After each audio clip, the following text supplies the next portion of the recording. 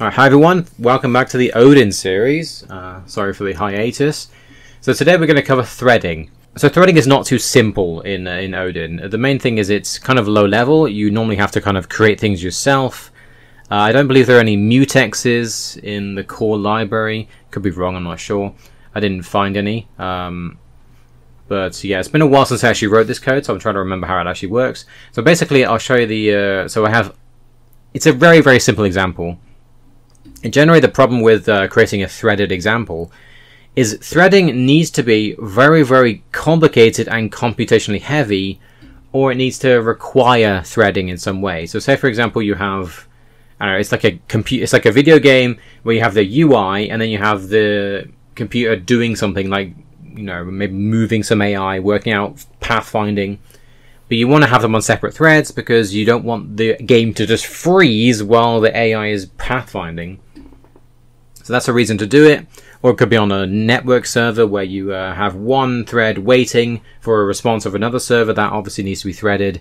Otherwise, the website will just lock up. And but generally, in like um, like console applications, it's not normally needed unless unless you have something that takes a really long time and will actually benefit from threading. This isn't one of those situations where it can benefit. So I just took from from Wikipedia some descriptions of some colors and made an array of them called strings. And we are simply just going to count the amount of vowels inside it and show the result. That's literally all we're going to do. Uh, and there are seven of them, so in one situation we're going to run it procedurally, one after the other, count it, show the time, and then we're going to run it threaded, seven at a time, and then compare them. Spoilers, it's slower to use it to make it threaded. Uh, anyway, so I'll show you the unthreaded version. Uh, the language server just doesn't work at the moment. I don't know why. So I can't click anything. It doesn't work. I have to go all the way manually to threaded. So we create a timer. We just literally go to this function count vowels. So we go to count vowels, which literally just uh, gets the length of the string inputted. Uh, if it's zero, we return zero. So it's just yeah, just returning an integer. That's all it is. So it call so it calls is vowel, which is a very very simple function. Simply just is it a vowel or not? Very simple, and then just adds the count. Well, uh, index is very different, but um, yeah. So this is basically like a kind of for loop. It's like a while loop, like a for loop. So I'm I incrementing the index here, not inside here, which you could do, but anyway, just simpler to write this way. Uh, but yeah, so basically, is it a vowel? If it is, you increase the count, and then just return the count at the end. That's what we do, and then we stop it and then just print the result. Uh, for some reason, the result is printing it in a weird format, um, which I'll show at the end. But anyway, so that's the unthreaded version. Uh, just close, close everything. Okay, then we have the threaded version. The threaded version is an unsafe version. I'll show you why at the end. Uh, so here, yeah, we do exactly the same thing. We have the global count vowel count, which is a global variable, which is a bad thing to do. Uh, so we have a global variable vowel count, and then we have thread pool. We create a thread pool, so we create a dynamic array of threads. And this is thread.thread. So here we have a thread struct inside thread.odin, which is in the core library. And thread has uh, it's a, a, struct with lots of stuff. Has like uh, has init context, create allocator, creation allocator, user arguments. You can pass things to it. User index, raw data. So you can pass things to it like that. More about that later. We delete the thread pool with a defer at the end of the scope, so it's cleaned.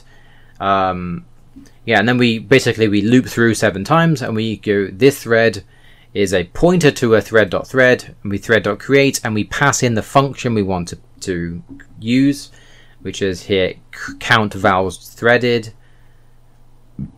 which I'll show you. This is count vowels threaded which is almost exactly the same, I believe. I'm not sure if there's any difference. Just have a look. Yeah, so we use the actually we use the index inside the thread. So we set the index, and we set the index here, user index, which is this uh, int here. So we set that index to i, and then pass it to this function. So we're basically we the the string we're using is the index of this array. So, so if it's like the first thread, it'd be 0, then it'd be one, two, three. That's basically all we're doing.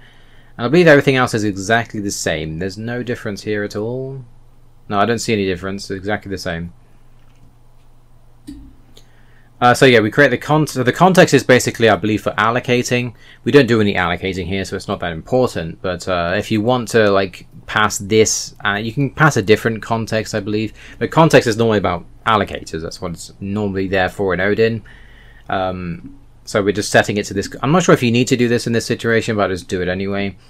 Uh, we append, so we're we're adding it to the thread pool we add it to the thread pool and then we start it. So creating it doesn't start it, start starts it. So thread.start, this thread.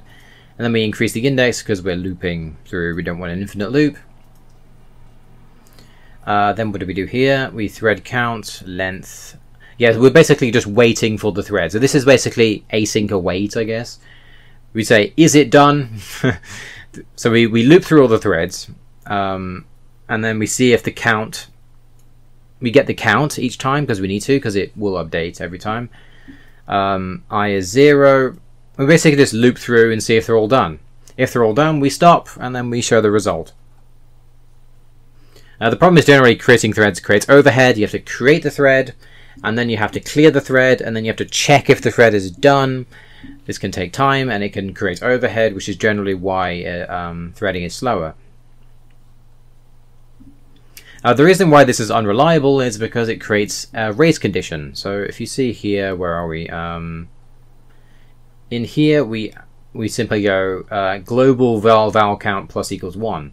This can create a race condition. So say for example, two threads trying to increment the val count at the same time, it can it can basically uh, stop the other thread from from changing the value and create a race condition. So basically, sometimes it will be incorrect, sometimes it will be correct. It just depends on the situation, um, which is why you shouldn't use global variables, and which is why I created another example. Um, so here, literally just this is uh, simply creating the thread, starting it, and this is um, checking if it's done. If it is done, remove it. That's basically all we're doing, and then we print the result. And then we have the safer alternative to threaded. We have threaded data. So we are yeah, total val count is the it's basically a local variable now, not a global variable. Uh, then we have counts. So we create a, an, a slice of counts. I'm not sure if it needs to be a uh, like, because make, I believe, will make it on the on the heap. But anyway, it's probably safest to do that because it's uh, dynamic. But you don't necessarily need to if you're not going to add more than seven. But I just made it a uh, on the heap here anyway. So we do exactly the same thing. We create a thread pool. We create, but instead we create the counts.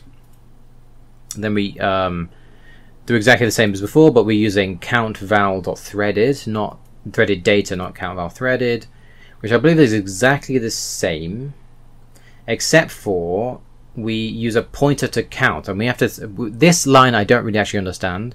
I don't remember where I found this, to be honest. I'm trying to because I, I wrote this code like a few weeks ago, trying to work this out. Um, so basically, we have a pointer to an integer, which is data. Ah, I think I I think I remember now. So basically, data is you can pass. It's a raw pointer. Raw pointer is anything. So it's basically like generic. It could be anything.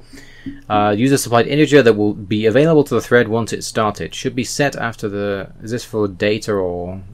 Sorry, this is this one. Uh, this one. User supplied pointer that will be available to the thread once it is started. Should be set after the thread has been created, but before it is started. Okay. So basically, this is anything you want to pass to the to the thread, and it's generic. But because it's generic, we have to do this transmute, which is basically like converting it into what we want. Because it's basically just binary data, zeros and ones. You have to tell it what it is, and it's an int, so we transmute it into a pointer to an int. Kind of confusing, which is why, again, threading is kind of not really beginner friendly. So we yeah, so we convert it into a into an integer, and it's basically a, pointer. So we, we're pointing to the data, and then we increment that data. So this is thread safe because it's it's basically individual to each thread. It's not a global variable that can cause race conditions. That's why this is a lot safer. So I'll show you here, for example, uh, yeah, data equals at counts. So we're actually we we are actually sending a pointer to the counts uh, which is why I believe I made it. I'm not sure if you need to make it on the heap, but it's probably safer to make it on the heap. Anyway, you could make it local. It's not really because it's still in scope. Anyway, I'm kind of waffling. Doesn't matter. So basically, we pass a pointer to the counts based on the index we're on. So basically, every time we use data, which is count here, which is linking to the data, it's just a pointer to the array we created, and this is thread safe. Uh, then we, yeah, we do exactly the same thing as before, and this is exactly the same. It's literally exactly the same. We loop through and make sure they're done, and then we add the totals at the end. So before counting counts, these are integers, we add the counts, and that's all and then we print the uh, the results. So I'll just show you the results quickly. So I edited the code a bit because I was getting some weird output. Uh, so basically, if I run this now, go Odin run, uh, we'll see the results. So we have 2779, and then we have 2769. Why? Race conditions. We're using the set. We don't have a mutex. Um, and then we have the correct result here. But you can see here, 98,900 nanoseconds 339,000 nanoseconds and 340 nanoseconds. Basically, this isn't a uh, this isn't a situation really appropriate for threading, but that's kind of irrelevant. I'm just trying to show how it works. Uh, but basically, yeah, race conditions. You don't want to use a global variable. You want to try to use um, you want to try to use data, right? So I'm not exactly like I, I you know I can't claim to be an expert at all on how this works. So basically you have thread, thread.thread. .thread. It's a pointer to a thread when you create it. Yeah, so it's a pointer to a thread. So we create a dynamic array of threads. Create them like this, passing in the uh, count val threaded data.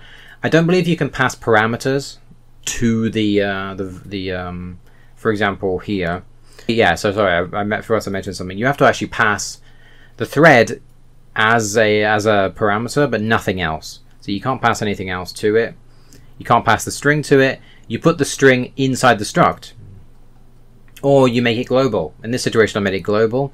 I'm not sure if I could, like, in theory, if I go to thread, sorry, if I go to thread and put it in data or something, I don't think you can. Maybe you could put it in user arguments. I don't know. There, threads, like, there's almost nothing on the Odin website that really explains this stuff.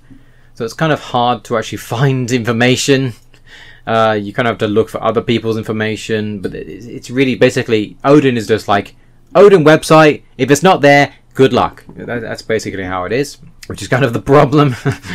uh, but yeah, I'm not sure. It, I don't think you can pass parameters to the the function. It has to basically just have the thread, and that's it. There, yeah. So yeah, if you want to check a thread pool if they're done, like a async await or something like this, you'd have to just loop through it and check if it's done using is done. If it isn't, then yeah, that's basically it. Uh, but again, generally threading needs to be a very, very CPU intensive thing that isn't, which doesn't need to be, you know, say if the first thing is dependent on the second thing, no.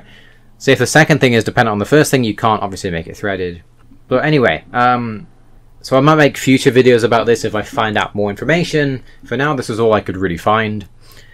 But anyway, yeah, so threads are pretty complicated, as you can see by my uh, confusion. But anyway, let me know if you have any questions. I'll see you guys next time.